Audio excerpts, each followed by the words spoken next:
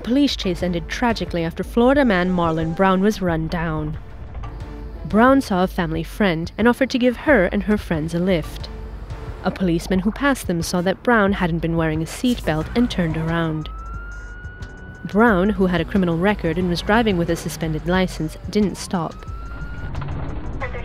The police pursued him and he turned down a dead end street. He jumped out and threw off his flip flops before even stopping the car.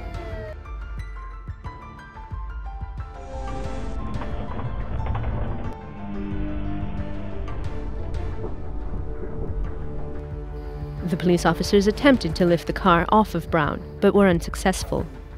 An autopsy report said Brown died from mechanical asphyxiation when his head was bent to his chest, blocking the flow of air. Brown's family has reached a $550 settlement with the city, but is calling for an independent investigation of the incident in hopes of bringing criminal charges against the police officer involved.